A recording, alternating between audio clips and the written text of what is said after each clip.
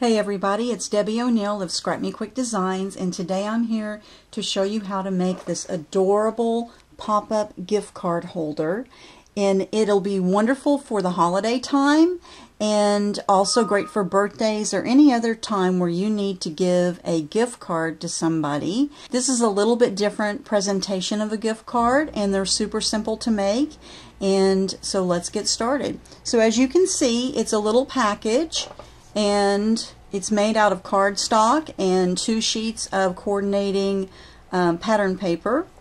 And there is a little belly band so that comes off. You can see that just comes off. There's a little embellishment piece that you can put on the front of it. And then the gift card does this. So you open it up and voila! The gift card pops up. Is that not the coolest thing ever? So they're really easy to make. We're gonna make one right now in real time so you can see how this goes together. The papers that I'm using for this are from Close to My Heart and they, it is the Confetti Wishes paper and the Confetti Wishes uh, paper has coordinating cardstock with it so that way I don't have to worry I didn't have to worry about trying to match my pattern paper and my cardstock so that I know that my gift card would look super cute. The first thing you're going to do is start with your cardstock and I have created a design space file that all of these measurements are already done and available to cut using design space. So all you would need to do is add your paper to the Cricut mat and use the file that I'm going to give you and all of this will cut out and score for you and you won't have to do any of it yourself. But as I'm explaining it I'm going to tell you kind of explain the whole process of the size of the papers and how you score everything. So those of you who don't have design space right now, you don't use the Cricut Explore, but you still want to follow along with me, you're going to be able to do that. Okay, so you're going to start with a piece of cardstock that is four and a quarter inches wide by 10 inches long. Okay, and then you're going to score it at three inches, four inches, five inches, and at 8 inches. Okay, so in Design Space, these scores will already be on there for you, and all you have to do is use your, um, your score tool, and it'll automatically do that for you. So, the cardstock base goes like this. So you're going to fold down the piece that was the at the 8 inches. Okay, then we're going to fold up the 3 inch line, and you can see these just barely meet, right? They just kind of barely meet in the middle. Now you're going to have these this is this fold line and then you have this fold line. Now in the middle you're going to have two more fold lines. So what we're going to do is we're going to create a mountain with this. So this one in the middle of these two need to fold up and this one folds in and this one folds up. So when you do that and you crease it, you've created the mountain. Okay? So this one folds down, this one folds over, this one folds up, this one folds over, and it creates your mountain. Alright, hopefully everybody can see that. It's pretty simple. You just want that middle piece to be your mountain. Now, flip this over and what you want to do is you want to put a piece of score tape or the red line tape um, that's the double-sided extra sticky tape so that then this will hold closed. It, using a regular tape runner just isn't strong enough and um, and you really need to have this. Now I used one that was a quarter inch. You could use an eighth inch one. Doesn't really matter but you want to put that on there. Then you're going to take the liner off and you are going to then fold your mountain back and press along the edges there where the fold is and when you finish you now have a piece that is sturdy. See, when I pull on it, it's not gonna it's not gonna pull apart. If I did that with a tape runner, I'd be taking a risk that it would pull it apart. So I want to make sure that I've that I use the the double sticky tape. Now, you have to have a place. This is where your your uh, your uh, gift card's going to go. So how do you get it in there, Debbie? That's closed up. Well, I'm going to use my scissors. You could lay this on your paper trimmer if you want, but all you want to do is take your scissors, and I like to use these fine point tip scissors just because they're super sharp. And these are also from Close to My Heart, and I love them. because um, they're great for little work. So I'm just going to cut the very edge of this paper. Okay, now what has happened is I have created a little pocket. Okay, so the score tape's down here, the double sticky tape's down here, that's what's holding this together, and this is where your credit card's going to go. Or your not your credit card, your gift card. Don't give them your credit card. Um, so you're going to do that, and you can test it with a with a gift card that you have on hand. I know I always have extra ones laying around after I use them. Um, so here you go. So you'll know that it'll fit in there nicely for you. So this part has been done. So this is the base. This is the part that takes just a few minutes to put together. So you'll have the fold. Open this up. Do this. It's going to pop up for you. All right. Now, out of the cardstock base, you're also going to create a 1 inch by 7 inch strip. And you're going to score this at 2 inches and at 5 and an eighth of an inch on the other end. And this is creating your belly band. So you're going to fold that over and that will create the belly band that's going to go around your gift card. Okay, and we'll put a little a little bit of um, adhesive here to hold it closed. Just kind of match that up. And now I have a belly band that will go around my gift card pocket. Okay, it just slides right on like that. Alright, so we've created our base and we've created our belly band. Now the next thing you're going to do is you will have you will have in the design space file all of this will be cut out for you. It'll prompt you to put the paper in and you'll do it. I use two different uh, pattern papers. These are both double-sided. It's from the Confetti Wishes from Close to My Heart. And I picked this because I wanted, I wanted to make some birthday gift cards. We have a bunch of birthdays coming up in our family. So this pattern can be used for girl or boy because it's kind of purples and dark blue and kind of a teal color and the yellow and it's just bright and cheerful and it just kind of said birthday to me. So that's why I picked to, to show you guys this one. Um, so I could use either side. So you can use either double-sided uh, pattern paper or you could use single-sided since you're only going to use one side of it. And then I had the coordinating paper that goes in this pack that I made, that I created to make the bases with, okay, that is going to cover the larger part of the decoration of the base. So these are one and three quarters across and they're four inches this way. I'm sorry, I took that out of the camera. They're one and three quarter inches this way and they're four inches this way. So you're going to cut two of these. All right. These are the two that are going to go on the on the flap. So there was your there was your base with the flap and it pops up and there's where the card goes. The flap at the top here is where you're going to adhere these. So they will go here and here. All right. So you have those two pieces. The other pieces that you're going to cut are the larger, there's four of these you're going to make, and they are two and three quarter inches across and four inches, two and three quarter inches across, and they're four inches this way. All right. This is an all-over pattern, and what that means is that there's no rhyme or reason to the pattern, so you have some going one direction and some going the other direction. Those are great because then you don't have to worry about it. um, which direction you put them down. So these will go here. They'll go on the inside of your base. They'll go one on the bottom, okay? And then you're going to flip around and you'll put the other ones on the back here. Okay, I just use a regular tape runner. There is about a quarter of an inch um, maybe an eighth of an inch by the time you put these on that your cardstock shows underneath. So that's why it's nice to have coordinating cardstock and pattern paper so that it looks beautiful. And once we've done that, this is what it looks like. Okay, so the magic of um, recording. So I've already put one piece here, the other piece goes here, and then you have the flap in the middle, and then you've covered the back. So the entire thing is now covered.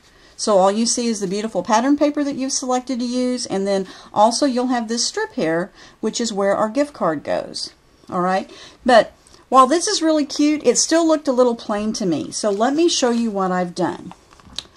I have in the design space file, I have also given you a sentiment uh, piece area so you can either write a message to your um, gift recipient or you could stamp on it or whatever you want to do.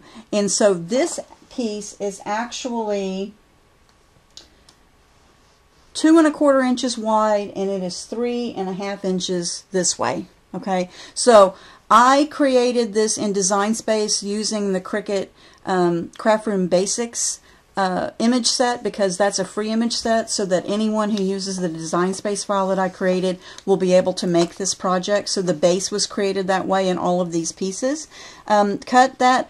I picked a scallop just as a design tip for you guys. I picked the scallop because my paper has the little birthdays all have are scallops on here. So I picked a scallop and this will go here. Okay. So I'll add that here. And then I also thought, well, this needed some decoration. Did I want to put another piece of pattern paper there? I decided no, I, that was boring. So what I've done is that I have created the word, the, the for you. It'll be in the design space file. If you're not using the Cricut Explorer and not using the design space file, you would could use stickers on this and spell out for you, or you could put the person's name or whatever you want to do. But for this one, I put for you. Now, here is Debbie O'Neal's trick. And so that this all lines up and it's easy to use. If you can see this, these are not floating in the air, people. These are actually on a strip of plastic that is from packaging. It's probably from a Cricut cartridge uh, that I bought. I keep all of those. I cut the, part, the plastic casing away and then I keep this for projects just like this. So what I've done is I have used my uh, Close to My Heart Bonding Memories glue and I have dabbed that onto the back of the letters Okay, so I've glued this on. This has a nice chisel tip on it. Okay. This plastic piece, I made it so it was the same length as my flap. So hopefully you can see that. So this, this piece is the same piece as my size as my flap. And then I put my letters on here. So I glue, I put the glue on the back of the letters and then I stuck them to this and I kind of lined them up so that then they would be even. If you can see here, they'll be even when I put them on down. Okay, so since this is a two-way glue pen, what happens with two-way glue pen is that when it dries, it creates a temporary bond. So I added the glue onto the back of the letters, then I let them dry, and then I used them and I stuck them on the plastic so I could line them up. Okay, now what I want to do is I'm going to add just a little bit more glue to the top of these. And while the glue is wet, it is a permanent bond. So that as soon as I lay these down, these will be permanently stuck where I put them. So I'm going to fold the flap over. I'm going to line this up here where I would like to have it. That looks pretty good to me. And then I'll lay this down and I'm going to just put my fingers on here and get those stuck on there really nicely and then I will be able to just pull up the bottom half of the letters. Whoops. Sorry. I, these have been sitting here for a few minutes while I was working on the video. Um, anyway, but I can pull up the bottom half of the letters, and then these will be straight, except for that Y, that U, who is not cooperating with me at the moment. Why does it always do this when you're on camera? Anyway, so, but you can do this to help line up your letters. You can use you can use a ruler, but I like to just use the plastic because then I can line it up on there really easily. And now I have the for you on here. Okay, so the for you is on here. I can put my credit card back in here. Not credit card. This is my gift card because I do not want to uh, tell you guys to be sending your credit card to someone. That would be a bad thing. Um, so the gift card goes in here. So now when you fold this up, you have, it pops up for you and it says for you. And the finished one that I made I used a stamp set um, from Close to My Heart. That is the banner and wishes, and it says birthday wishes, and it's a celebration. So it's this this gift set in case you guys wanted to know what stamp set I used. And I'll, I'll include this in the bottom uh, of the instructions for making this project and on the YouTube video so you'll know which stamp sets I used in case you want to get the same thing. Um, the So I use Best Wishes. It's a celebration and now I have room to um, sign the card here. You can see that. Okay. And so this completes the inside of your card. And then, of course, you have your belly band. What I did was I have also included, this is a one and three quarter inch circle. For a sentiment, you could put an embellishment here if you wanted or whatever you wanted, but I wanted to say happy birthday. So this is the holiday tags stamp set from Close to My Heart, and it is fabulous because it has all of these shapes that you can use to work on projects like this where you need a little label for something, a gift that you're making or a tag or whatever. It works great on belly bands.